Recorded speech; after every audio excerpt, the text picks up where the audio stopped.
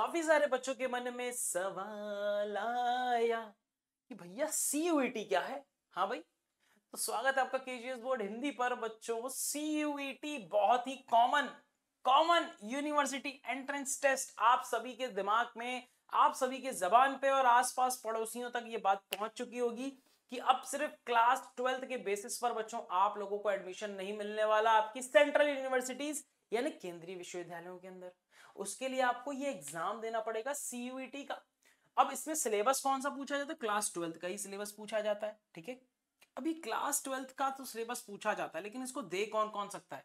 तो जो भी क्लास ट्वेल्थ में इस साल है, ठीक है? इस साल जो क्लास ट्वेल्थ का एग्ज़ाम दे रहे हैं, वो दे सकता है इसको और जो पास हो चुका है, वो भी दे सकता है, ठीक है? यानी कि मैं भी दे सकता हूँ। क्लियर है? समझ में आ गई बात? ठीक है तो क्लास ट्वेल्थ में अगर आप बच्चे हैं अभी तो आप सीयूटी दे सकते हैं और अगर आप पास आउट हैं तो भी आप सीयूटी दे सकते हैं।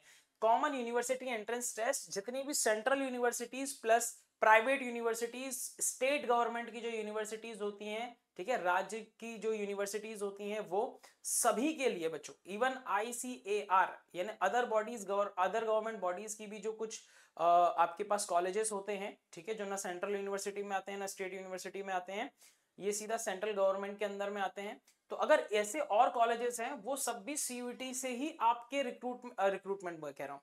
ठीक है एडमिशन दे रहे हैं भाई। ठीक है एडमिशन दे रहे हैं आपके ग्रेजुएशन के एग्ज़ाम के लिए। तो सीयूटी यूजी का आपको एग्ज़ाम देना पड़ता है।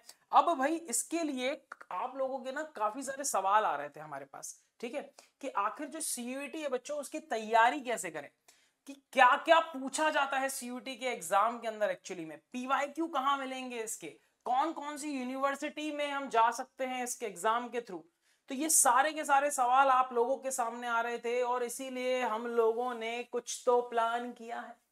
और वो प्लान किया है बच्चों आप लोगों के लिए कि आप लोगों को ऐसी सारी जानकारी के लिए अलग से एक चैनल बना दिया गया है जिसका नाम है के जी एस सी चैनल और आपको करना है इस चैनल को सब्सक्राइब